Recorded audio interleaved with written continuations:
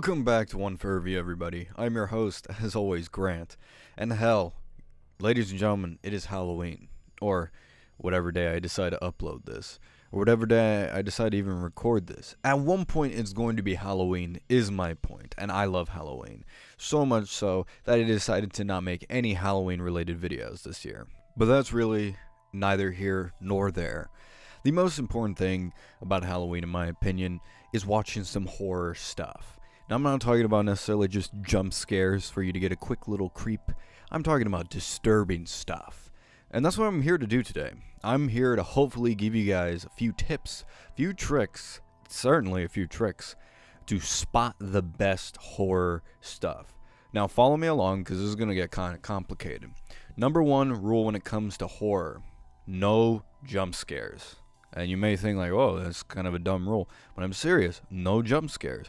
Number 2, you need to be disturbed. Number 3, there is no number 3, but I'm sure as we go along you'll get an idea of what kind of horror related stuff I like to view. Uh, although I'm pretty sure some people already know what kind of horror I love to view. You could just go on any social media account that I have and automatically you will have all the information that I have ever spewed the bullshit that comes out of my mouth. I'm getting off topic here. I'm talking about anime, by the way.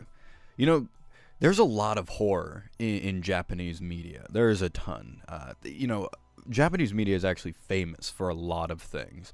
Number one is gore, and number two is horror. Horror is a huge part of Japanese media, mainly because there's so many horror stories. You ever notice that? You ever hear the folklores from Japan? It's some scary stuff they have, and you know, um, you know, Japan's just filled with all these horror stuff. So naturally, they're gonna have a lot of horror-related media.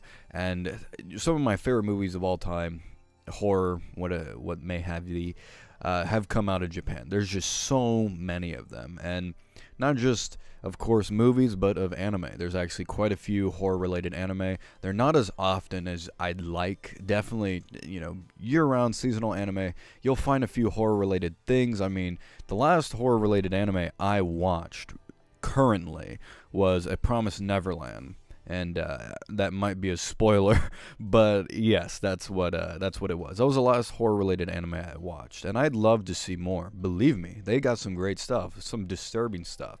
And if you know one thing about Japanese storytelling, there's never a happy ending. So today I wanted to talk about my top five recommendations. These aren't my top five favorite horror anime this isn't the top five best horror anime. These are just my top five recommendations for all of you to check out. You guys you can check this out during Halloween. You can check this out after Halloween. Really, I don't care as long as you check them out or you just listen to me talk about it. Other way, either way, I should say, your choice don't you don't even need to listen to these recommendations if you don't want to. Now, before I start with the top five list, because I will give you top five in no particular order, they're just there on my list. Before I start, not all of the best horror related anime will be on my list.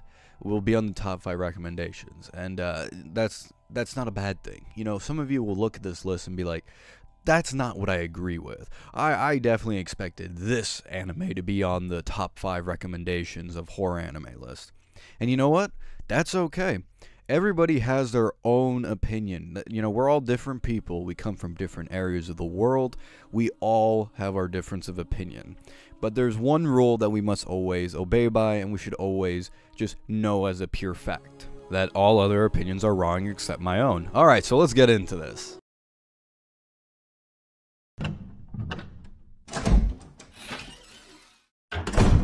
Alright, so at number 5, I wanted to start off with something pretty crazy. Hell Girl, from 2005, 2006, and 2008. Now, you guys might be wondering, what do you mean from all these different years? Well, it's different shows, if you will, or seasons, whatever you want to call it. Each of them having around 26 episodes.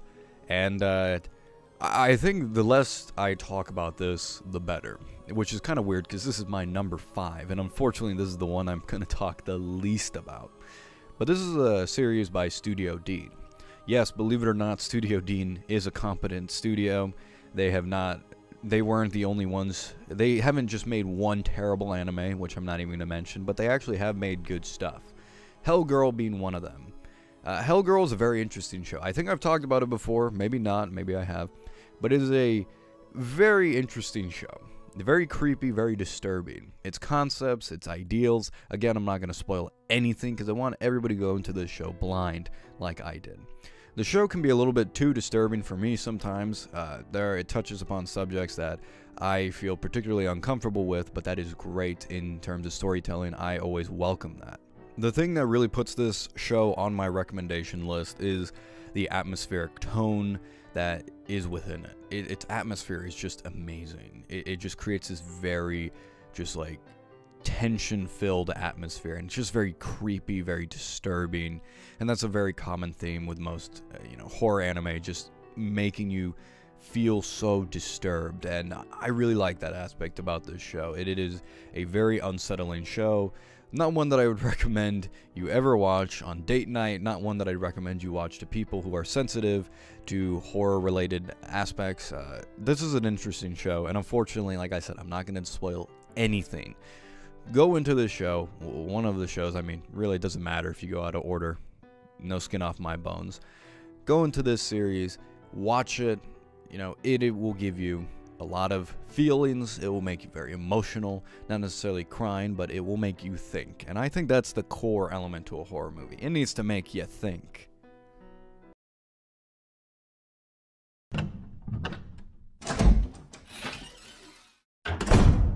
For number four, I thought I would go with something a little bit more anime, a little something a little bit more what people are accustomed to. School Live from 2017, and that is from Lerche. Now, this studio has done is behind such great series, Monster Musume, uh, Asobase, even the Carnival Phantasm series. You know, Carnival Phantasm. Anyone even know what that is? Probably not, but it's a great show. And uh, and, and yeah, I'm not. I'm also not gonna mention their most famous work, just so that I could screw with you guys. You can figure it out on your own terms. But they've done a lot of great shows, and uh, so they were behind School Live back in 2015. This was a show that I had no context about going into it, and uh, to give you a brief summary, if I could, it's about a club where there's a bunch of girls and they do activities and they live in their school with nobody else around. The unfortunate truth behind this show is that even having this show on my list gives away what the show's about. Not having any context about what this show was going to be when it first came out, I didn't see anything on it. The opening made it seem completely different than what it was, and then the ending realization of, oh my gosh, this is what the show's about. Which I will say this it is a zombie show. That is what School Live is. It's everybody knows it, but it is a fantastic show. Obviously, I love zombies, so I was very much into this show when it first came out. I was on top of it while it was airing. It's a fantastic show. It's got great gore, it's got great psychological thrills, it's got great zombies, it's got great atmosphere. It is honestly a very traditional zombie story esque, but with its own twist and its own kind of Japanese things to go with it. The animation in particular is also just very good. Uh, every, everything looks great. Uh, subtle differences in the background is something I'd always pay attention to, and I suggest people pay attention to the background. You know, it always looks good. The characters' designs are also very nice. All the girls are very sweet and, uh, dare I say, a little bit innocent. Uh, but overall, it's just about these high school girls who are kind of just stuck in a horrible situation. It's a great horror series, and I definitely recommend everybody to check it out.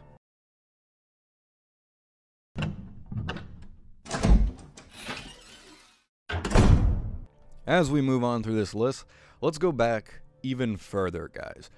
Elfen Lied from 2004 by Arms. Yes, Elfen Lied. This is another show I think I've talked about before, maybe mentioned it, but uh, I really haven't gone too in depth in it, and I probably won't do it here either because I'd like to keep things secret. To give you guys a brief summary, Lucy is a special breed of human born with short pair of horns and invisible telekinetic hands that lands her as a victim of inhumane scientific research by the government. However, once circumstances present her an opportunity to escape, Lucy, corrupted by the confinement and torture, unleashes a torment of bloodshed as she escapes her captors. Elfen Lied is a great show. It is a great series. Uh, definitely a good example of horror anime and gore effects. That is something I have to give Elfen Lied. It was always a not so much a disturbing show to watch, but it was always an inventive show to see just the kills a lot of the time. But also the story is, in and of itself, it is a really good story with its dark themes. And like I said, disturbing as all hell. That is one thing that has always being common with this list. All the shows I talk about are going to be disturbing. And that is the real, true factor of a horror series. It needs to be disturbing. Elfen Lied is a great show with good animation. Uh, it's not amazing, uh, obviously, especially by today, it might be a, a, tad dated, but if you're okay with that, I mean, you really shouldn't have a problem. It's animation. Animation very rarely ages poorly. It, it, at, at, at worst, Lucy can be a little slow but other than that, Lucy, Elfen Lied can be a little slow. Other than that, it's a terrific show with a great, memorable soundtrack, might I add. The opening in particular is fantastic. The atmospheric tone is great. All the atmospheric music as well is also fantastic. Definitely a show I would recommend you watch on Halloween.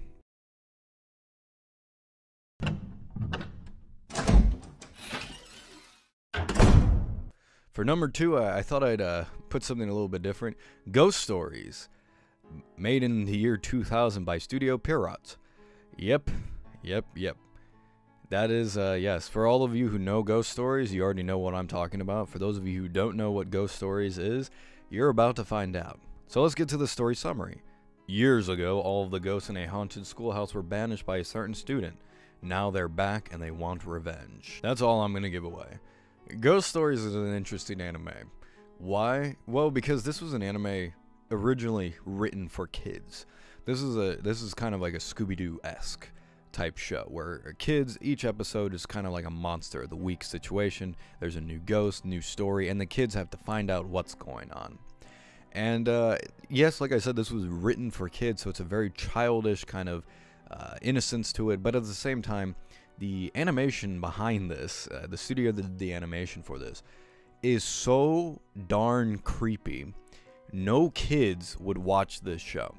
This show has quite a long history. Got many complaints by parents saying that this the show was too scary for little kids, and they immediately just ran into problems. And they wanted to make a season two, but unfortunately never could get the funding to it, especially after all the complaints and the dare I say controversy behind it. And the problem with it being too, uh, I guess you could say, scary for kids is that the show's writing wasn't good enough for it to capture like a teenager's, you know, interest or adult's interest. Because, like I said, this is a child script. This is a script written for children. So obviously, an adult wouldn't be that interested into it. And the kids can't watch it because it's too dang scary. So what could they have done? Well, they did the only thing they could do, and uh, they gave up. so they they gave up on this show. Didn't go further than a season one. But they during when they were outsourcing it to be dubbed into English, in particular, I'm talking about the English dub right now. And hear me out, because this is important. When they were outsourcing this to a, a studio to dub it in English, they pretty much said, "Do whatever you want." This made us no money. Make us some money somehow. So the studio who was in charge of the dub, made sure to write a bunch of crap, get a general sense of what the plot of the show, as well as the individual stories, episodic stories were, write whatever the hell you want, and then they got a bunch of actors and actresses to just blurt out whatever. And in it is one of the funniest dubs you will ever hear. This may be on the list of top 10 worst dubbings in anime, but honestly, it's one of the top 10 best dubbings in anime. Because unlike other dubs, which can be generic or just painful to listen to, they don't have the same effect, and in and of itself, they are dubs, so they are already inferior to the original product. Ghost Stories does something original, does something more creative, and just says, fuck it, we're just gonna do whatever we want. A lot of this is just ad libs from the actors themselves who are doing it, and then a lot of it, and then the majority of it is just written by the writers to just do whatever they want, come up with their own stories. Everything is bull bullshit in this in this anime in the English dub. None of it's to be taken seriously. It is a comedy and it is gold. I definitely recommend if you're going to watch Ghost Stories, watch it with the English dub because it is a lot more fun and it is a lot funnier to watch. However, if by the, on- the off chance that you decide not to watch this with the dub, how is the anime in and of itself? Well, it, it is it is not bad, but it's not good. I could definitely see why kids were horrified by this anime. I mean, there are certain monsters that's like, oh, how can you show that to kids? But I can also see why no adults would be interested. The script is nothing special. It is essentially a kids show, and it's not a particularly good one to begin with. It's very generic, kind of boring, uh, except for when the horror elements actually come in. To, which, by the way, the horror, the atmospheric, the atmosphere that this show creates, the tension the horror, the monsters, all of it is very scary to begin with. So I have to say it's actually really good anime when it comes to horror stuff. But it's just it just the story's terrible behind it. However, if you watch the English dub, it's a fun ride. It's really funny. Definitely one of those sh shows that you have to watch either high uh, like a kite or just completely drunk as a skunk. So I definitely recommend watching this show during Halloween because why not? It's ghost stories.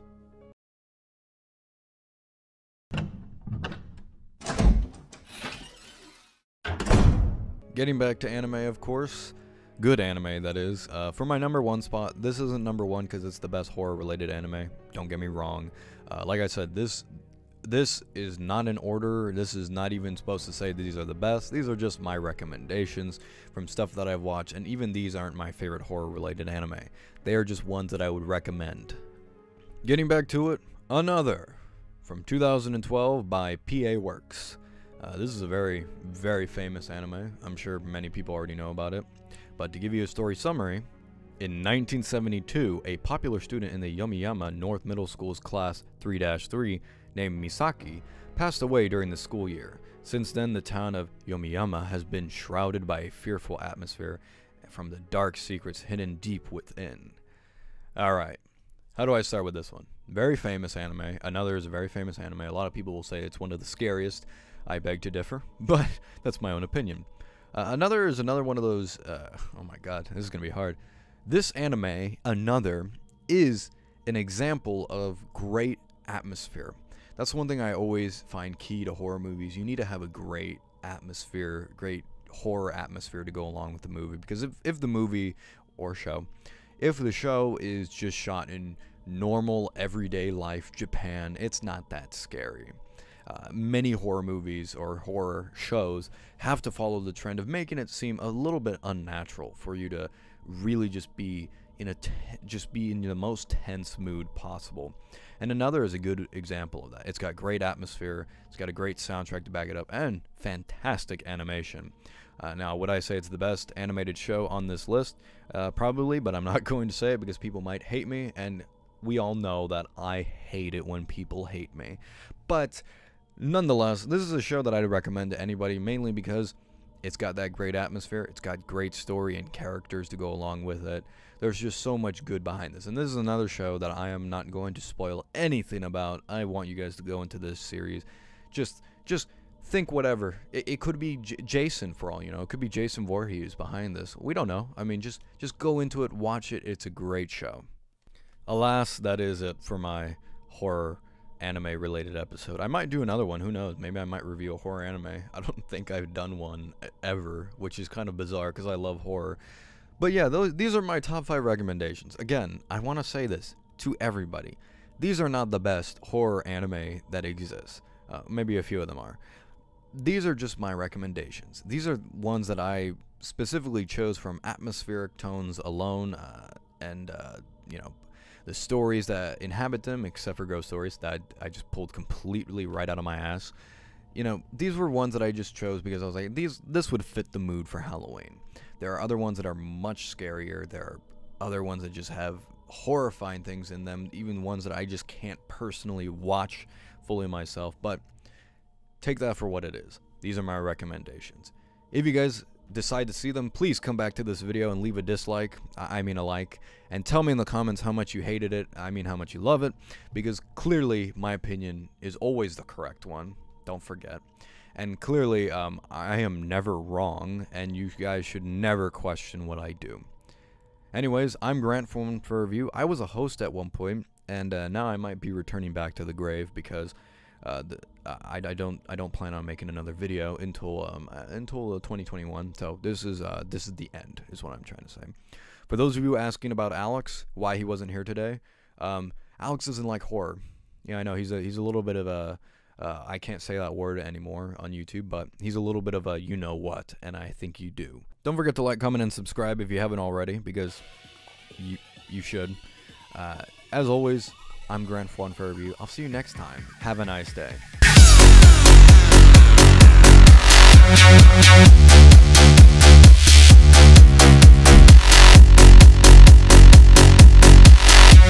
back.